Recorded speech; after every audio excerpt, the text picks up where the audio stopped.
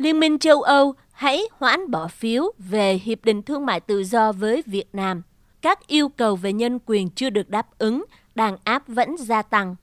Hôm nay, Tổ chức Theo dõi Nhân quyền phát biểu rằng Nghị viện châu Âu và Hội đồng châu Âu cần hoãn thông qua Hiệp định Thương mại Tự do EU-Việt Nam đang được đệ trình, cho đến khi chính quyền Việt Nam thực hiện được các bước cụ thể để cải thiện hồ sơ nhân quyền đang ngày một tệ đi của mình. Luật an ninh mạng hà khắc bắt đầu có hiệu lực từ ngày 1 tháng Giêng năm 2019 là động thái mới nhất của nước này nhằm hạn chế nhân quyền. Ủy ban châu Âu được trao quyền đàm phán thỏa thuận kinh tế với Việt Nam đã đệ trình bản dự thảo cuối cùng của hiệp định vào tháng 10 năm 2018, dự kiến sẽ được Hội đồng và Nghị viện châu Âu thông qua chính thức là bước cần thiết để hiệp định bắt đầu có hiệu lực trước các cuộc bầu cử Nghị viện châu Âu vào tháng 5 năm nay. Do sức ép của cộng đồng doanh nghiệp châu Âu, một số đảng trong Nghị viện châu Âu đang cố đẩy nhanh tiến độ ký kết hiệp định thương mại này, còn được biết đến với cái tên tắt là EVFTA, mặc dù phía Việt Nam đã làm ngơ trước nhiều lời kêu gọi liên tiếp về việc cải thiện hồ sơ nhân quyền, các đợt bỏ phiếu theo thủ tục chính được dự kiến sẽ diễn ra vào tuần tới.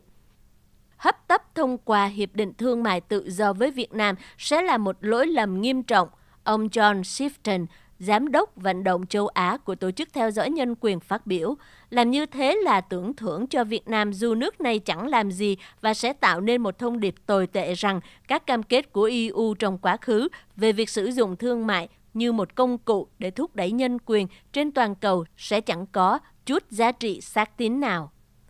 Trong tháng 9 năm 2018, 32 thành viên của Nghị viện châu Âu đã ký một văn thư mở bày tỏ quan ngại sâu sắc về tình trạng đàn áp nhân quyền đang tiếp diễn ở Việt Nam và kêu gọi quốc gia này cải thiện hồ sơ nhân quyền trước khi Hiệp định Thương mại được đưa ra bỏ phiếu. Những quan ngại này cũng được nêu với Bộ Thương mại Việt Nam hồi tháng 10 năm 2018 trong cuộc tranh luận tại Nghị viện châu Âu và một lần nữa trong bản nghị quyết khẩn cấp ban hành vào tháng 11 vừa qua. Đáng tiếc là không một lời kêu gọi nào được đáp ứng và chính quyền Việt Nam chỉ gia tăng đàn áp. Bộ luật an ninh mạng mới của Việt Nam dường như nhằm mục đích đóng chặt con đường duy nhất còn lại cho người dân Việt Nam thể hiện bất đồng chính kiến ở một quốc gia mà tất cả các kênh truyền thông đều của nhà nước hay do nhà nước kiểm soát và hoạt động của các nhóm phi chính phủ bị hạn chế ngặt nghèo. Hàng loạt các blogger, các nhà phê phán, các nhà hoạt động và lãnh đạo tôn giáo ôn hòa bị ngồi tù với các tội danh quá rộng đã hình sự hóa hành vi tự do ngôn luận – những người vẫn công khai lên tiếng phải chịu nguy cơ bị đánh đập, bắt giữ, đe dọa và các hành vi xâm hại khác. Các công đoàn độc lập không được phép hoạt động và rất nhiều lời cam kết trước đây của Việt Nam về việc thông qua một số công ước của Tổ chức Lao động Quốc tế ILO vẫn chưa được thực hiện. Hội đồng châu Âu và Nghị viện châu Âu cần phát đi một thông điệp rõ ràng rằng hiệp định này không thể được phê chuẩn cho đến khi chính quyền Việt Nam đáp ứng các quan ngại về nhân quyền một cách nghiêm túc. Ông Sifton nói, Việt Nam phải hiểu rằng nếu châu Âu hoãn ký kết hiệp định thì đó là lỗi từ phía Hà Nội chứ không phải của Brussels.